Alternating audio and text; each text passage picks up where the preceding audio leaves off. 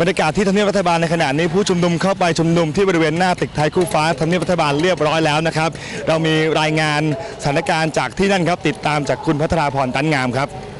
บริเวณด้านหน้าทำเนียบรัฐบาลขณะนี้นะคะ ได้มีกลุ่มมวลชนค่ะ ซึ่งเคลื่อนมาจากเวทีของราชดำเนิน เคลื่อนเข้าไปสู่ภายในรั้วของทำเนียบรัฐบาลเป็นที่เรียบร้อยแล้วนะคะ โดยเราจะเห็นนะคะว่าบรรยากาศด้านในภายในรั้วของทำเนียบรัฐบาลค่ะ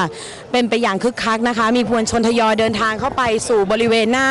ตึกไทยคู่ฟ้า ซึ่งเป็นสถานที่ทำงานหลักของนายกรัฐมนตรีนะคะ ขณะเดียวกันนะคะ บริเวณรถปลาใสค่ะได้มีการตั้งรถปลาใสนะคะ บริเวณที่ด้านหน้าตึกไทยคู่ฟ้าค่ะ เท่าที่ดิฉันได้เห็นอยู่นี่นะคะ ก็คือมวลชนที่มาจากเวทีราชดำเนินนะคะ เราจะเห็นได้ว่าพื้นที่บริเวณด้านหน้าตึกไทยคู่ฟ้าที่เป็นสนามหญ้า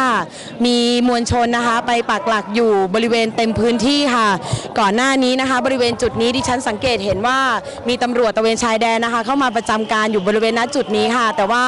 ล่าสุดเราก็จะเห็นได้นะคะ ว่าจากการสังเกตการณ์ไม่มีเจ้าหน้าที่เข้ามาอยู่ในบริเวณพื้นที่นี้แล้วนะคะ ขณะเดียวกันนะคะ เราก็จะเห็นได้ว่าก่อนหน้านี้นะคะ ทางเครือข่ายนักศึกษาประชาชนปฏิรูปประเทศไทยค่ะ ได้มีการฝ่าแนวบริเออร์ของบริเวณเบิงเชิงสะพานชมัยมารุเชษฐ์มานะคะ ก็จะเห็นได้ค่ะว่า ตอนนี้นะคะการชุมนุมภายในพื้นที่ทำเนียบรัฐบาลนั้น เป็นคนละกลุ่มกันนะคะ กับกลุ่มของคอปทอซึ่งล่าสุดกลุ่มคอปทอเท่าที่ดิฉันได้ตรวจสอบกับคุณนิติธรล้ำเหลือนะคะ ก็ได้รับคำยืนยันแล้วค่ะว่า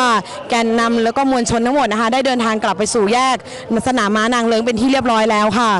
ขบวนรถปลาใสที่เห็นอยู่ไกลๆตรงหน้าตึกไทยคู่ฟ้านะคะ เท่าที่สังเกตก็คือ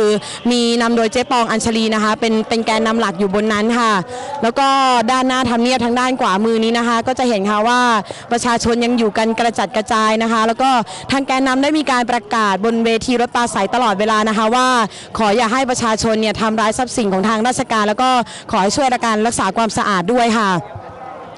ตอนนี้นะคะเราก็จะ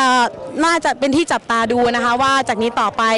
การปักหลักชุมนุมอยู่ที่บริเวณทำเนียบรัฐบาลแห่งนี้จะยังมีความยาวนานมากน้อยขนาดไหนค่ะ และนี่ก็คือบรรยากาศล่าสุดที่ทำเนียบรัฐบาลนะคะ หลังจากที่กลุ่มมวลชนจากเวทีราชดำเนินได้เข้ามาปักหลักตั้งแต่เวลา 13 นาฬิกาค่ะ